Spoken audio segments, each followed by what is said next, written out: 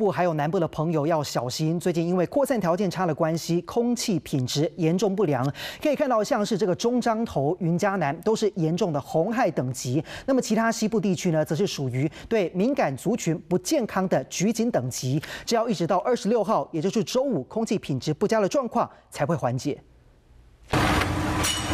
熊熊大火从民宅窜出，浓浓的黑烟不断的冒出来，消防队员紧急洒水灌救。苗栗二十号晚间发生了民宅火警，台中后里也有工厂大火，不仅有燃烧后的黑烟，还产生明显的粒状物，都让严重的空气污染状况雪上加霜。因为这几天天气稳定，外加上环境风场的影响，扩散条件不佳，使得西部县市空气品质相当恶劣。整体来讲，在云林、彰化、台中这边。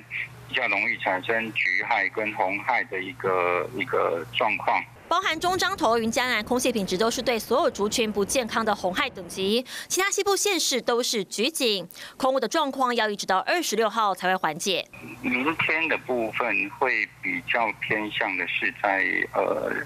嘉南呃呃这一边，好跟比较南部，那真正比较缓解的一个时间会在呃二十六号。环保署表示，空气最差的中部地区已经请中火、麦寮电厂、中钢等降载，也建议敏感族群尽量待在室内，外出记得戴口罩等等，来避免不被空污给危害身体健康。华视新闻，孙敏薛松前、乌兆清台北苗栗报道。